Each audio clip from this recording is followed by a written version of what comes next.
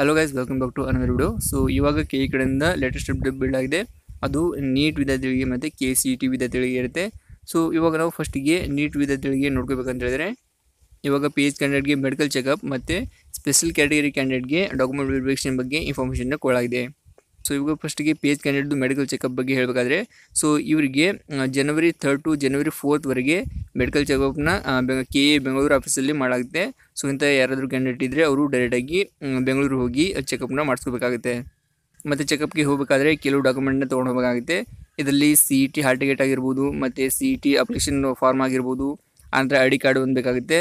ಅದಾನಂತರ medical report ಒಂದು ಬೇಕು, ಮತ್ತು ಇ ಎನ್ ಟಿ ಅಭ್ಯರ್ಥಿಗಳಿಗೆ ಆಡಿಯೋಮೆಟ್ರಿ ಮತ್ತು ಬೇರೆ ರಿಪೋರ್ಟ್ ಒಂದು ಬೇಕಾಗುತ್ತೆ.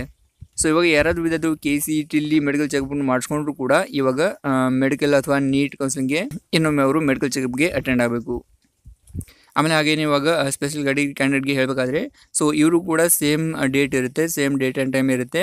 ಜನವರಿ ಥರ್ಡ್ ಟು ಜನವರಿ ಫೋರ್ತ್ವರೆಗೆ ನಿಮಗೆ ಸ್ಪೆಷಲ್ ಕ್ಯಾಟಗರಿ ಡಾಕ್ಯುಮೆಂಟ್ನ ವೆರಿಫೈ ಮಾಡ್ತಾರೆ. ಸೊ ನೀವು ಕೂಡ ಅಂದರೆ ಸ್ಪೆಷಲ್ ಕ್ಯಾಟಗರಿ ಡಾಕ್ಯುಮೆಂಟ್ ವೆರಿಫಿಕೇಷನ್ ಮಾಡ್ಕೊಬೇಕಂತ ಯಾರಾದರೂ ಅಂದ್ಕೊಂಡಿದ್ರೆ ಸೊ ಇಂಥ ಕ್ಯಾಂಡಿಡೇಟ್ ಕೂಡ ಕೆ ಎ ಬೆಂಗಳೂರಿಗೆ ವಿಸಿಟ್ ಮಾಡಬೇಕಾಗುತ್ತೆ. ಸೊ ನಿಮಗೆ ಡಾಕ್ಯುಮೆಂಟ್ ವೆರಿಫಿಕೇಷನ್ನ ಅಲ್ಲೇ ಮಾಡಲಾಗುತ್ತೆ.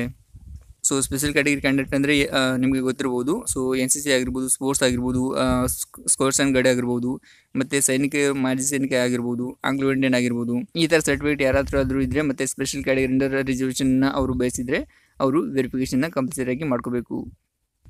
ಹಾಗೆಯೇ ನೆಕ್ಸ್ಟ್ ಟೈಮ್ ಬಂದು ಇ ಸಿ ಟಿ ಕ್ಯಾಂಡಿಡೇಟ್ಗೆ ಸೊ ಇ ಸಿ ಟಿ ಕ್ಯಾಂಡಿಡೇಟ್ಗೆ ಫೀನ ಪೇ ಮಾಡೋಕ್ಕೆ ಡೇಟ್ನ ಎಕ್ಸ್ಟೆಂಡ್ ಮಾಡಾಗಿದೆ. ಸೊ ಫೀನ ಪೇ ಮಾಡೋಕ್ಕೆ ಮತ್ತು ಕಾಲೇಜ್ ಹೋಗಿ ರಿಪೋರ್ಟ್ ಮಾಡ್ಕೊಳ್ಳೋಕ್ಕೆ ಅಥವಾ ಕಾಲೇಜ್ಗೆ ರಿಪೋರ್ಟ್ ಮಾಡೋಕ್ಕೆ ಡೇಟ್ನ ಎಕ್ಸ್ಟೆಂಡ್ ಮಾಡಾಗಿದೆ. ಸೊ ಇದರಲ್ಲಿ ಫಸ್ಟ್ ಬಂದುಬಿಟ್ಟು ಫೀನ ಪೇ ಮಾಡೋಕ್ಕೆ, ಅಂದರೆ ಇವತ್ತೇ ನಿಮಗೆ ನಾಲ್ಕು ಗಂಟೆವರೆಗೆ ಟೈಮ್ನ ಕೊಟ್ಟಿದ್ದಾರೆ ಫೀನ ಪೇ ಮಾಡೋಕ್ಕೆ. ಮತ್ತು ಕಾಲೇಜ್ ಹೋಗಿ ರಿಪೋರ್ಟ್ ಮಾಡ್ಕೊಳ್ಳೋಕ್ಕೆ ಅಥವಾ ಅಡ್ಮಿಷನ್ ಮಾಡ್ಕೊಳ್ಳೋಕ್ಕೆ ಕೂಡ ಸೇಮ್ ಡೇಟ್ ಇರುತ್ತೆ.